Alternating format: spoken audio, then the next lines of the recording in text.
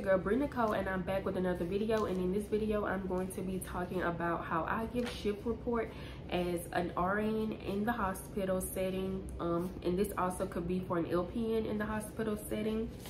But when I first started as a new grad my hospital gave me these report sheets. Can't really see it but I'm gonna try to like scan it and add it into the screen um, it has three different slots for three patients and I usually print these front and back. We get up to five patients, so that means I always have like an extra one in case I get a new admission and then somebody goes home. So I just like to use these and I kind of filled it in as if I had a patient and I'm gonna go down and show y'all how I would give report to the oncoming nurse um, that's coming in for night shift. So the first thing on here is the room number. So I'll start by saying, um, this is the patient in room 101, and then it has the patient's name. His name is John Doe, and I always put the age. So he's a 66 year old male. Um, next is the MD. He is admitted to Dr. Blue. Consults are next, so it will be any doctor that this patient is consulted to. And at my hospital, I'm pretty sure others, like you have a lot of travelers, so they don't know the doctors. So I will say like, Dr. Blue is a surgeon or Dr. Blue is a hospitalist just so they can get an idea of who they were admitted to because we do have a lot of travelers at my facility. So I'll say um, he is consulted to Dr. Green. He's a hospitalist or a surgeon or a cardiologist just depends on you know what they do. I try to give them an idea. He's also consulted to P pt and ot which is physical therapy and occupational therapy. Next is allergies. He has no known allergies a full code precautions and i just put that he's on contact precautions for mrsa um, and if he wasn't on any precautions i would just say he's on standard precautions. Next is this admission so i would put the date he was admitted. So i would say then um, he was admitted on august 9th for a right diabetic foot wound that got infected at home. Next is the o2 um, he is on room air. And if his lungs are clear i would say he has clear lungs. Um, next is activity status i say he's a minimal assist because he does have a unequal gait because of the foot wound. He kind of limps. Um, so I would say minimal assist. He is on a diabetic diet. Level of consciousness, he is alert and oriented times three. Um, urinary and GI system, he voids to the bathroom. He is continent times two. A lot of people like to know the last bowel movement. His last bowel movement was yesterday. Um, let's say it's the 11th. His last bowel movement was yesterday on the 10th. And as far as the labs, I will always tell like pertinent labs pertaining to why they were here or just any abnormal labs that the patient may not even know about that were abnormal um, until admission to the facility. So as for this patient, his white blood cell count was elevated because of the infection and also his CRP was elevated, which is inflammation in the body from that infection. He is not on the heart monitor. Um, next is plans, planned procedures. So for this patient, they either plan to debride the wound or let's just say it's near the toes. The doctor either say we can debride this wound and try to um, recover it or we can just amputate um, where the wound is, amputate that part of the foot. So depending on whatever the patient decides is what the doctor is gonna do. And then next is drains or tubes. He doesn't have any drains or tubes, so I just put an X through that, um, just like the heart monitor. IV and fluids.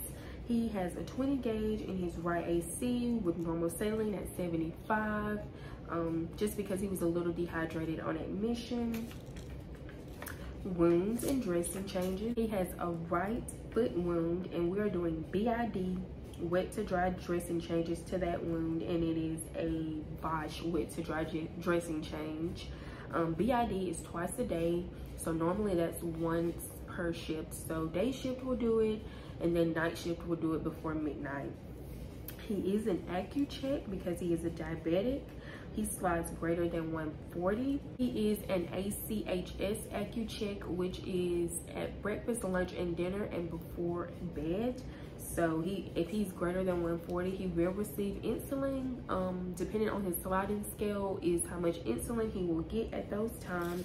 And then I will tell them like, hey, I had to cover him once or twice during my shift um, and what his blood sugars were. Next is just um, assessments. So like any other things that I may have found on my patient or just something random I wanted them to know like while I assist the patient I just put that here and then I also have a vital sign section so um I write the vital signs we do those on day shift at 7 11 and 3 so I write down the vital signs and anything abnormal I highlight just to make myself a note in case the doctor rounds I can say hey his blood pressure was this or his heart rate was elevated or his temp is kind of going up um, so I can let the doctor know as well as the oncoming nurse um, know.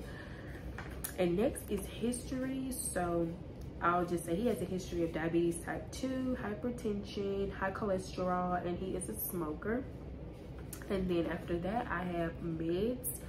So um, meds, I usually write the times of my meds and then like any important meds so like a lot of my older patients are on like vitamins and stuff i don't write all of that down i usually write important stuff like if they're getting a blood pressure pill to let me know like hey you need to check blood pressure before giving this or heart rate before giving this something important like that or like a blood thinner um, just something that can affect the patient um, in a bad way if I were to give it I always like to make myself a note of, or hey, they're on this. Um, so you might want to check their blood pressure before giving this med. So I write down the times and then important meds. And then last, I have updates and notes.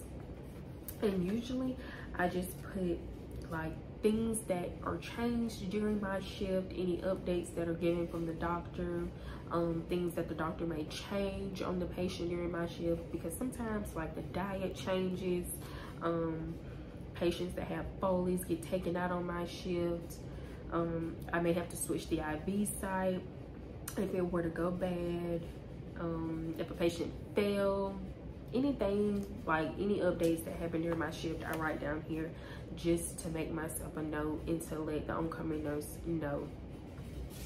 So that is how I would give reports um, to the oncoming nurse and I do that for all five patients and it usually goes by pretty quickly and smoothly and normally nurses will leave their questions for last like if they have a question about a certain thing they they'll just leave it for last to say hey um, can you go back over this or can you repeat that and I try to go through my report as slow as possible because I don't like when nurses talk so fast and you're not even able to write down the first thing.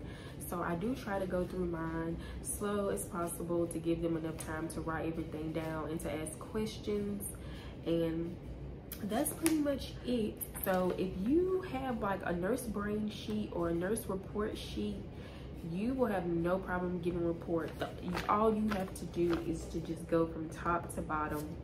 And if you see something missing on like report sheets that your job offer you or that you may get offline, something that you want to include, you can go on Microsoft Word and make your own report sheet. It's just up to you because that's actually what I plan on doing. I've been using these for my job, but I do write big as y'all can see so it's like almost at the line and I always find myself having to add like post-it notes on top of the sections to add more information so i do plan on probably making my own report sheet and if y'all want a video on that i'm pretty much just gonna copy this but just give myself more room so i may um just do like two patients per sheet so if y'all want to see how I make that, just let me know and I'll try to do a video on how I make my report sheet. Like I said, I will upload this one just so y'all can see like this is what my job provided me with and they actually gave me about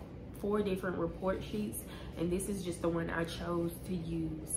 So if you would like to see more content from me, don't forget to like, comment, and subscribe.